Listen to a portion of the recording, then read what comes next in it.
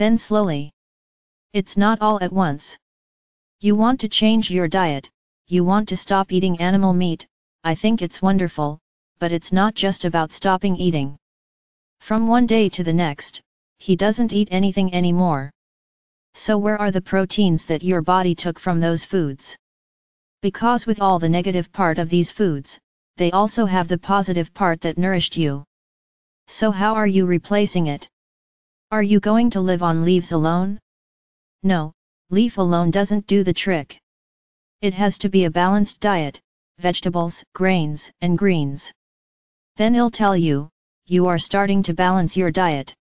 It's not just, stop and cut everything from your body.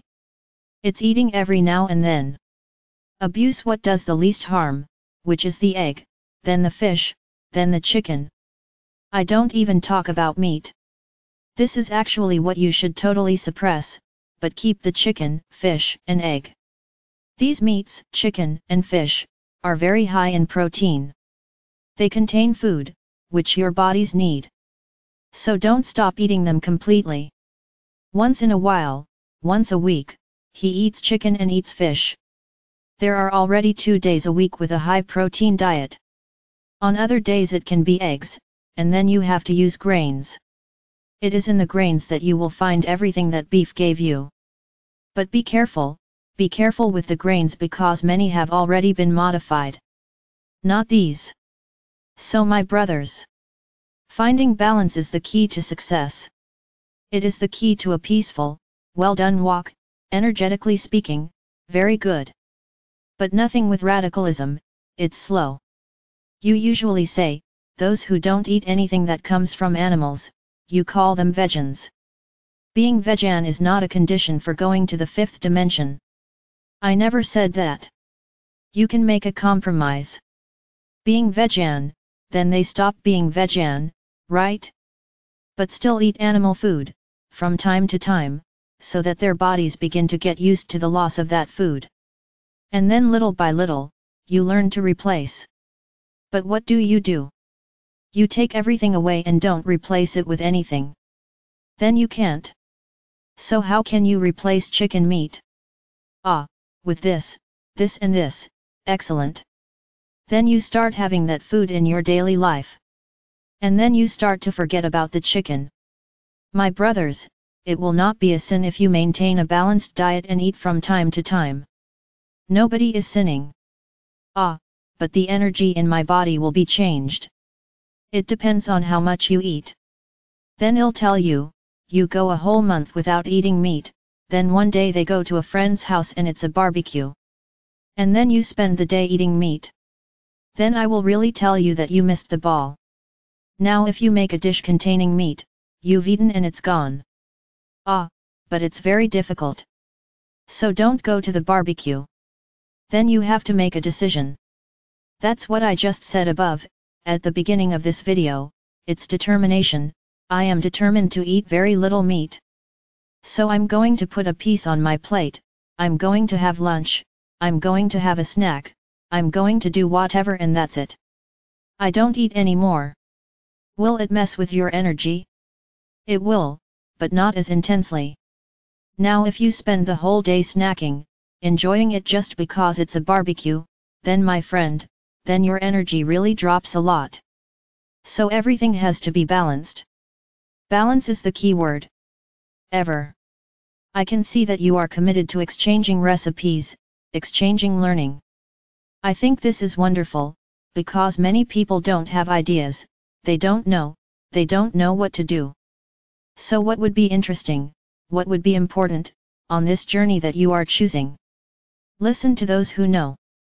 If there is any of you, let him be a good nutritionist, that can say to you, what can I make up for beef? That person will say, you can eat this, this, and this. What do I make up for chicken meat? Eating this, this, this. What do I compensate the fish for? Eating this, this, this. Then I will tell you that you will form a very balanced group, because then yes, you will be learning to supply your bodies with what you are not eating, which is bad. Look for that. Try to obtain information, scientifically speaking. Meat contains what? Contains this, this, this, this, and this. What do I do to replace it? You will know a list of foods that you can eat that replace meat.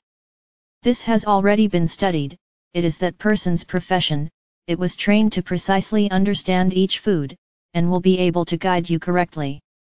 So this is a way for this group, which is actually concerned about food, to do it, but to do it consciously, correctly. Not just because of the fat and that you have to stop eating meat, it's not quite like that. You have to stop eating, yes, but for those who have been used to it for a lifetime, it has to be done slowly. It cannot happen from one day to the next. I cut it out, I don't eat it anymore. You're going to get sick. Any less.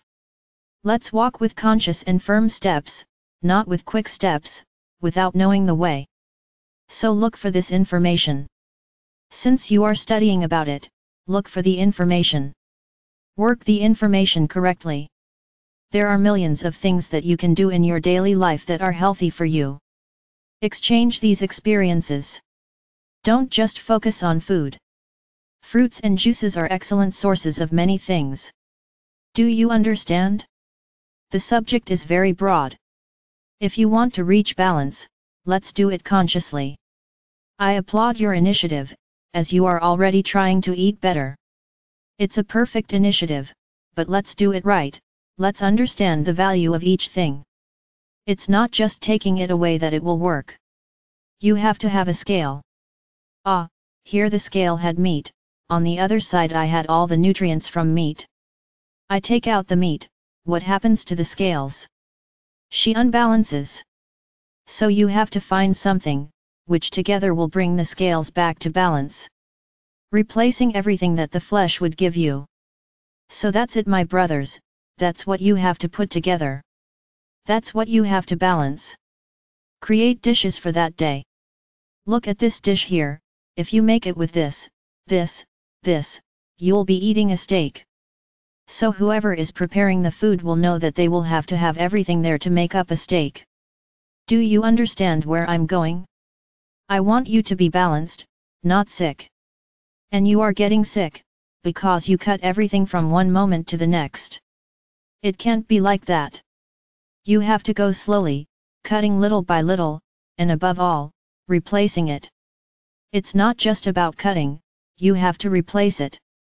Then I will hear some people saying, ah, but I'm too nauseous to eat, I don't eat this, I don't eat that. Ah, my friend, there you have a serious problem. Because if you only know how to eat meat, in the fifth dimension you will go hungry.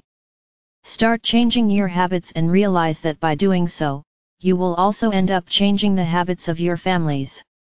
Because they will also understand that it is not just meat that brings them the supplement they need. Did you understand? So my brothers, everything is balance. Always think about the scale. The scale has a positive and negative side. The flesh I can say is negative, so you put it on the scale, but what do you have on the other side? You have what the meat gives you, be it any meat, it is not a handful of rubbish that you put in, it goes in and comes out just as it came in. No, there are nutrients there, there are proteins, there are fats, there is everything, vitamins, hormones. But let's talk about the good side, the good side of that food, which if it were from a healthy animal, I would give it to you. Very good. So if you remove the meat from one side, you have to add something else, because otherwise, your body will be out of balance.